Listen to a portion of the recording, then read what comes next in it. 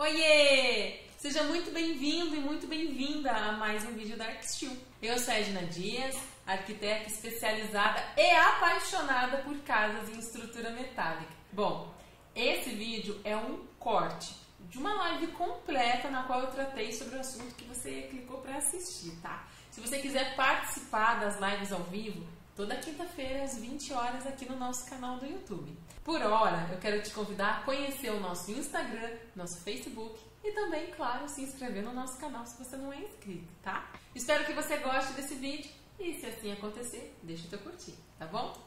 Até! Vamos então dar uma olhadinha como é que as pessoas fazem ancoragem na casa delas? E aí, se você não deixou o teu curtir até agora, eu vou pedir gentilmente que você deixe, porque além de eu achar casas em estrutura metálica, eu achei casas em estrutura metálica com foto de obra, a maioria delas, e ainda que a gente enxerga a ancoragem do pilar na fundação. Então, assim, é pesquisa, né? Não é, não é uma, uma simples bugada que, que a nossa equipe acha esse tipo de informação. É muito, muito tempo ligado no assunto para a gente conseguir reunir realmente imagens de coisas dentro do assunto que a gente traz em cada live, tá? Então, ó, prime... daí como que vai funcionar? Eu vou mostrar para vocês quatro casas Gente, votem no final na que vocês mais gostam, tá? Eu adoro. Ah, Edna, eu tô assistindo depois, não é ao vivo. Então escreve nos comentários qual é a tua favorita. Porque eu adoro saber. E pra mim a parte favorita é isso. Quando eu escolho as casas, automaticamente eu já tô separando as minhas favoritas, né? Então, ó, essa é a casa número 1. Um. Gente, eu trouxe ela porque ela tem muitas soluções diferentes que eu acho que vale a pena a gente conhecer, tá? Primeira coisa, cadê a estrutura metálica escondida? Ela não está à mostra, então ela não tem essa linguagem tão industrializada por fora. A gente enxerga só aqui, né? Um pilar, uma viga pintadinho de azul. Não é o azul Tiffany dos sonhos, mas é azul. Aí, ela tem uma linguagem arquitetônica simples. O que eu quero dizer com isso? É o tipo de casa que talvez o ArcDane não aceite para colocar no, no site deles. Inclusive, deixa eu compartilhar isso com vocês. Eu enviei para o ArcDane, eu não, né? Que a, a, a Malu, que trabalha conosco, fez a gentileza enorme de separar três obras nossas, inclusive a Casa Peral, a Vila Terraço, tá? O IPEC, separou tudo, produziu um conteúdo incrível, prancha tudo, mandou pro arco dele, eles não aceitaram nenhum. Eles não aceitaram nenhum, gente. Fiquei muito triste, tá? Fica aqui a minha nota de, de é, descontentamento com essa atitude, porque não aceitar nenhum. Não é, não é que assim, eu trago aqui muita, muita imagem, muita referência de casas Arc Daily. E tem casa que não é tão bonita assim, não são todas que são maravilhosas, né? Inclusive tem casa que eu trago só pra gente dar um espetáculo e falar que não tá legal, porque a ideia é trazer coisa diferente. E, ah, poxa, não aceitaram nenhuma, nem a casa Peral, gente. Ah, fiquei muito triste, mas tudo bem, vamos continuar. Bom, essa casa aqui, inclusive, tem essa linguagem arquitetônica mais simples. Ela é uma casa pré-fabricada. Você compra da, da, da, empresa a solução entregue montada no teu terreno lá nos Estados Unidos. Então, vejam, ela não tem aquela linguagem com balanços e coisas e coisas, entendeu? Mas ela tá muito fofinha desse jeitinho aí. Todo telhado painel solar. Isso aqui é projeto, né? Foto real da casa, só para vocês entenderem, porque aqui não dá para entender direito, né? Eu fiquei, nossa, olha, tem mais um telhado por cima. Será que fizeram essa parte? Bom, esse era o projeto. Daí teriam várias alturas do telhado, tá? Aqui a gente vê o pilar de viga bem, bem aparente ali, o terreno em nível. Isso já é foto e é do pátio interno. Então acho que eles fizeram, né, gente, essas alturas, ó. Esse telhado aqui que está virado para o pátio interno, esse mais alto aqui, ó. Estão vendo que eles fizeram um pátio seco ali, colocaram umas pedras? Umas pedras esponja? Não sei o que, que é isso. Mas enfim, um lugar super gostoso, né? Você põe aí, se quiser, uma mesa, uma mesa para você comer com alguém, enfim, cadeiras, bancos, ou essas pedras esponja aí, o que você quiser. Esse é um pátio, então é uma casa pátio. Ela tem beirais pequenos, mas tem beirais. Vocês sabem que isso faz diferença na hora de você usar a casa. As vigas metálicas estão escondidas. E agora olhe para as paredes. E tenta me dizer que material que eles usaram nessas paredes porque eu adorei. Inclusive, estou esperando minha amostra chegada na Brastelha. A Brastelha está para me enviar as amostras desse material, então já é produzido no Brasil e é incrível para a gente usar em fechamento de paredes, tá? Repare que tem uma pequena elevação no terreno, esse, acho que essa informação não é desse aqui não, porque esse aqui é um terreno reto, não tem elevação nenhuma. Olha, aqui a gente enxerga a montagem, aquilo que eu falei, a ancoragem, né? Então, primeira coisa que vocês já enxergam eles ainda estão nivelando essa obra, porque eles ainda não grautearam a base. Ó, tá tudo com essa frestinha que não pode ficar. Então, se essa obra fosse dos mares, já ia estar tá aí fogo. Porque já ergueram tudo e não grautearam o negócio e aquele fervo. Cadê o grout para a gente grautear tudo? Porque dá mais estabilidade, mais segurança para a obra. A obra não foi calculada. Então, passou um vento nessa etapa. Se não está tudo já grauteado, é mais arriscado. Vocês entenderam? Então, repare também que as funções, as junções delas são parafusadas. Eu gosto muito. Não tem melhor e pior, gente. Dava para ser soldada também, tá? A ancoragem, ó, ela é nivelada. O que, que eu quero dizer com isso? Eles não fizeram aqui nada mais alto, tá? Aparentemente dá a impressão que eles vão grautear, fazer um contrapiso e deu, não sei. A gente não vê depois dentro. Olha aqui o material das paredes, gente. Painel termoisolante, que é, dá muito mais rapidez na montagem. E aí, olha lá atrás também como a casa já está coberta. Então, é uma obra muito rápida, inclusive com telha metálica. Aqui é outra vista, onde a gente vê que a laje de concreto, a base já foi concretada. Foi, inclusive, pelo que eu entendi, foi queimado já esse piso. As tubulações já estão no lugar, estrutura pintada. E aqui eu estou circulando essas bases das ancoragens, só para você localizar. E claro, esse contraventamento aparente, Inclusive, eu não li, mas eu quero ler para você nesse, slide aqui, ó. As conexões de aço parafusadas atendem facilmente ao rigoroso código de carga de vento de 140 mph. Eu não tenho nem, não sei nem que não sei nem que unidade que é essa, milhas, mas tá. É aproximadamente 225 km por hora. Então essa casa, eles explicam na, na descrição do projeto Inclusive, eu não trouxe do Arcdaily esse projeto, mas a, a, o link para vocês verem mais informações sempre está na descrição da nossa live, na Casa 1.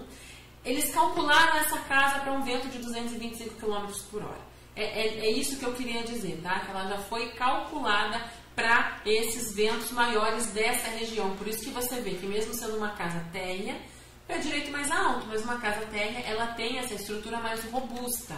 Então, nem sempre a, a, robustez da estrutura vem só por causa do peso de cima, às vezes vem por causa da carga de vento, tá? E aqui é por dentro. Você se surpreendeu, né? Fala pra mim. Eu fiquei surpresa quando vi a foto interna dessa casa.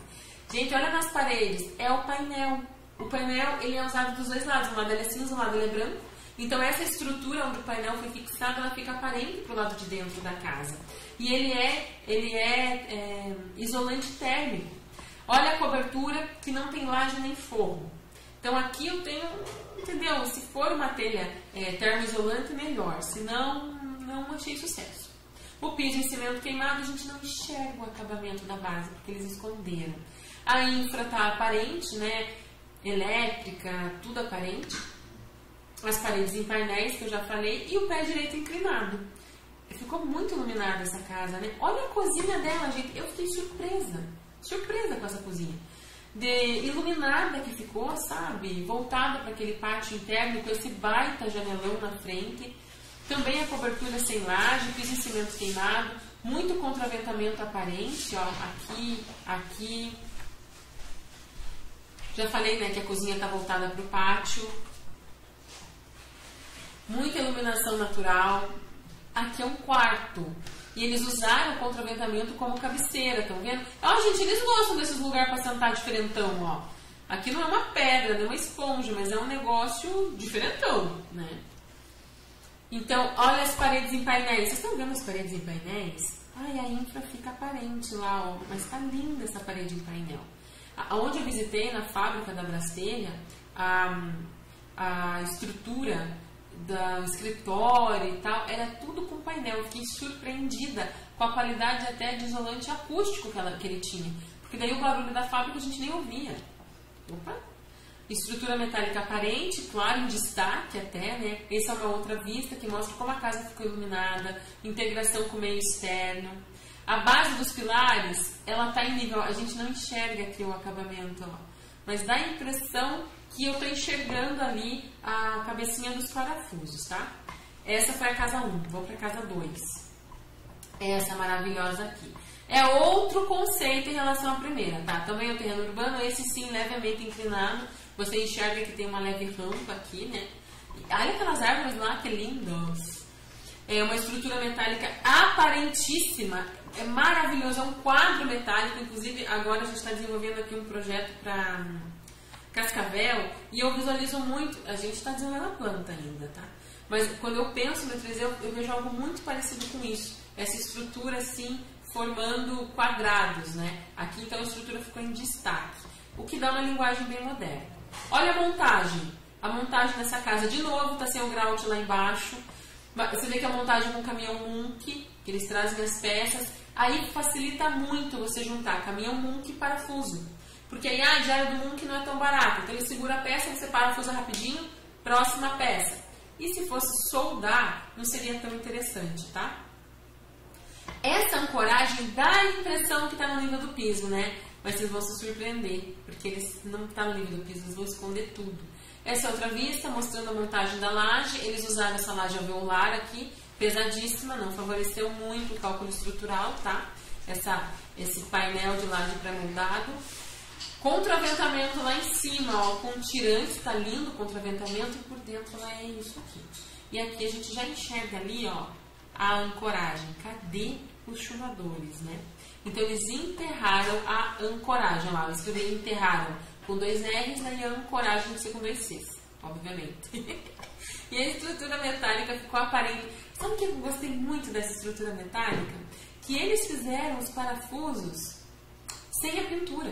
Eu não sei se é inox, não sei se é só galvanizado, mas eu amei, eu achei que deu um, uma delicadeza esses parafusinhos em destaque, sabe? Bom, essa casa tem muita integração com o meio externo, então daquele ponto onde a gente enxergava, cadê? Onde a gente enxergava as bases metálicas, eles, tá vendo que esse piso aqui tá bruto, não tá lixado, não tá queimado. Então aqui eles instalaram um contrapiso e o acabamento. E aí a gente chega nisso aqui, ó. E toda essa espessura escondeu a base dos, dos pilares, escondeu os chumbadores, tá? Muita iluminação natural com esse pé direito duplo, né? E ali está a base do pilar. Essa é uma vista mostrando o fechamento em vidro fixo, que eu achei lindo. O destaque para escada, os parafusos, ó. Eu acho que são galvanizados, acho que não são inox, mas eu achei que ficou muito legal. Aqui eu tenho uma observação para você observar. que ali embaixo, ó, a ancoragem, estão vendo o que, que acontece quando você deixa ela enterradinha? Ali já está acumulando água. Às vezes é algum caimento errado até da calçada. Se fizer um caimento errado, ele lascou-se, gente. Aí essa água vai ficar acumulada, vai entrar e vai dar BO, entendeu? Talvez os externos. Então, o interno, preocupação muito, muito menor. Esse pilar aqui dentro, ó, Poxa, gente, está lá dentro. Que tanto de água que vão jogar aí? Muito pouco, sabe? Agora, esse aqui que molha, talvez valesse a pena eles terem deixado a base um pouco elevada. Então, tem essa, não precisa ser a mesma regra para todos os pilares. E essa é a fachada principal. Eu gostei muito dessas brisas. Ela tá muito muito chique essa casa, com cores chiques, né? Assim, marrom, cinza, madeira. Não tem nada muito muito que chame atenção, tá muito sóbria, né? Telhado embutido, lá em cima tem ali, eu acho que um terraço, inclusive. A gente não entende do que, que é esse telhado e hoje eu não vou trazer planta. É só para a gente visualizar mesmo as fotos, tá? Vamos ler as fotos hoje. Então, as brisas em madeira, essa é a fachada principal e os pilares, inclusive, da garagem, você vê que estão embutidos nesse concreto. A base, a ancoragem deles está embutida, né? Aqui você enxerga esse monte de porta de correr que eu adoro, e esses trilhos que eu adoro também depois, passar um aspirador de pó para chupar a sujeira. A estrutura metálica está em destaque. Forro em gesso acartonado, também esses forros aqui, ó, é tudo em gesso acartonado, gente. E eu acho super legal, é para fazer uma coisa super legal com iluminação. O contrapiso, então, escondeu a ancoragem lá, ó, vocês estão vendo o pilar metálico, ó, cadê a ancoragem? Está escondida, a gente não, não enxerga, não sabe do que, que é.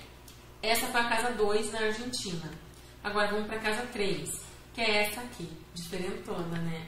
Ela tem, essa é a fachada dos fundos, eu não achei foto da fachada principal dela, tá no terreno urbano também.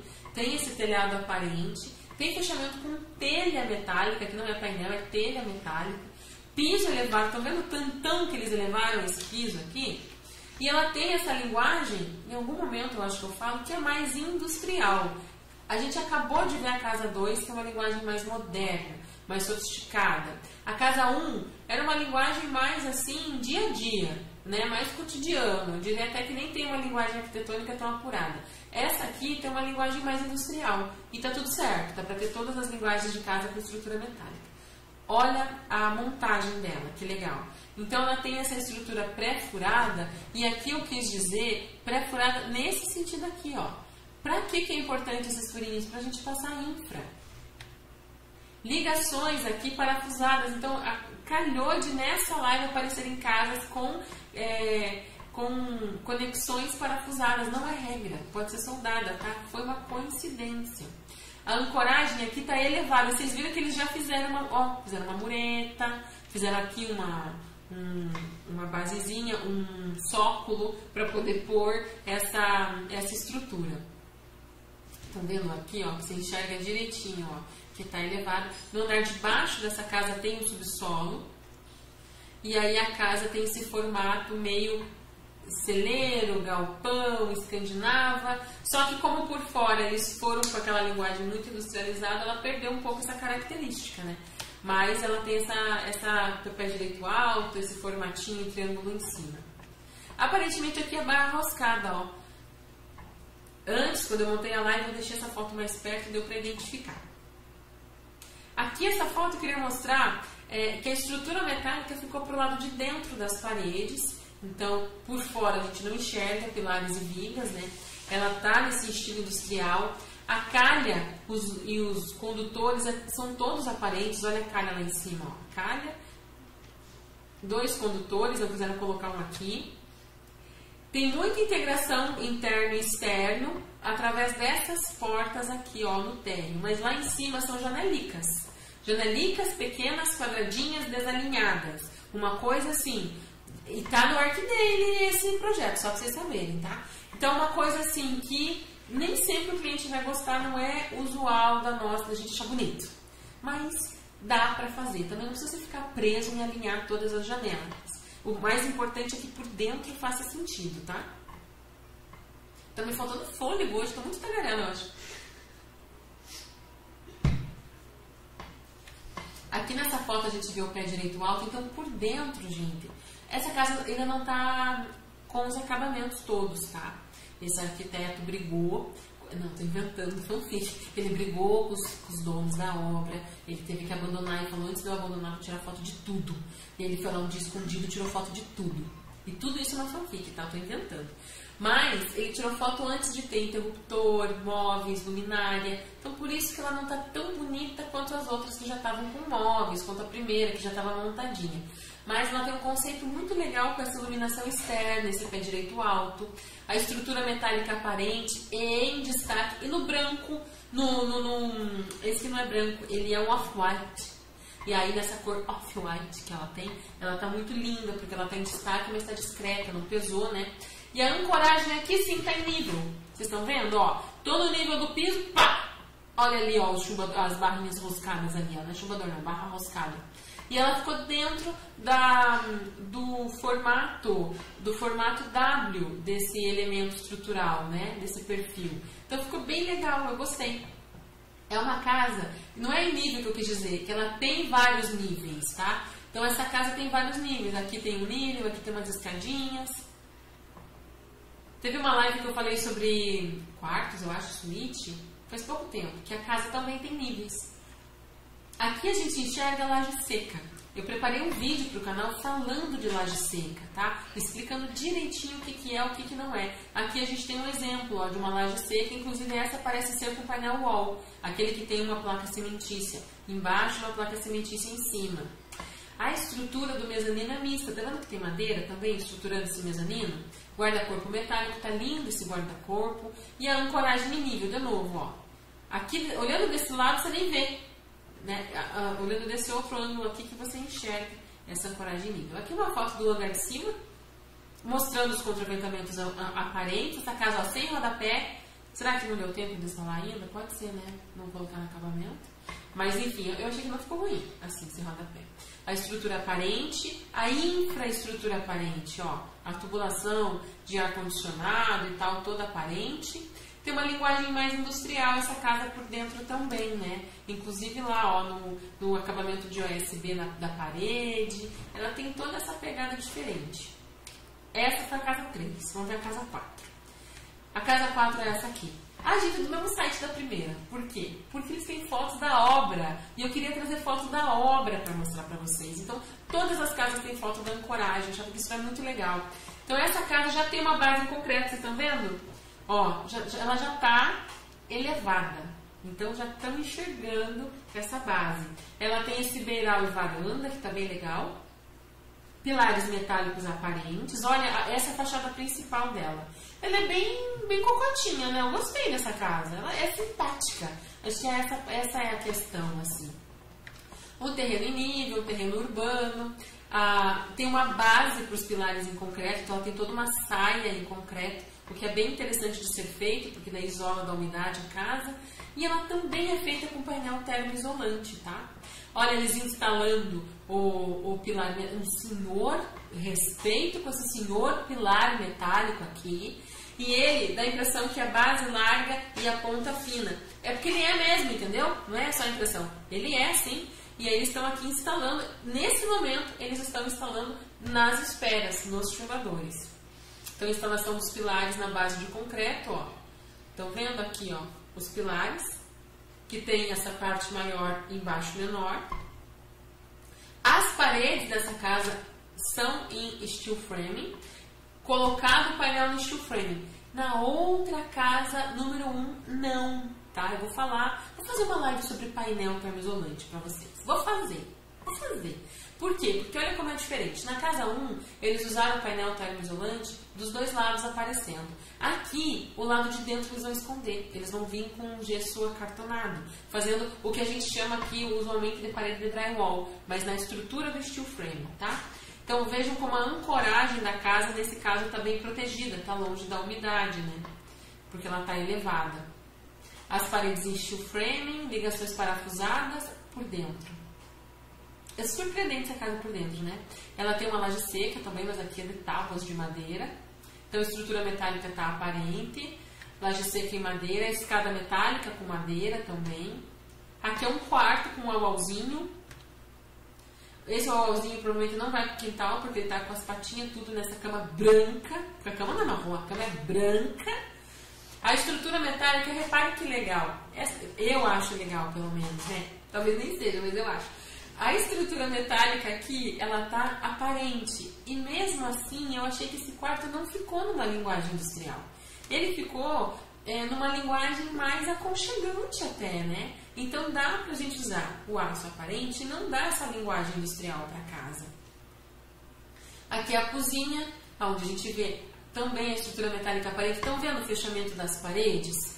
Então se você olhar, principalmente aqui, ó, para esse quarto da casa 4 e depois, quando acabar a live, você voltar lá na casa 1 e olhar o quarto da casa 1, o da casa 1 é muito mais industrial que esse, porque ele manteve contraventamento, estrutura da parede, da parede tudo aparente usando painel. Aqui não, eles vieram com fechamento de drywall por dentro das paredes, tá? Não tem certo e errado. O outro jeito é um pouco mais barato, porque só uma mão de obra, só um material, né? Aqui envolveu mais coisas. Aqui, gente, o que me incomodou muito mesmo foi esse tapete na cozinha. Porque, gente, tapete na cozinha não é um tapetinho, entendeu? Não é um tapetinho que você põe na máquina de lavar, é um. Não sei, Fiquei até pensando, mas será que sou eu que faço muita bagunça quando cozinho? Porque, né, a gente derruba ingrediente o tempo todo. Vigas treliçadas vagonadas lá em cima. É vagonada o nome dessa viga? Agora não tenho certeza. Mas lá em cima são vigas, vigas metálicas, treliçadas.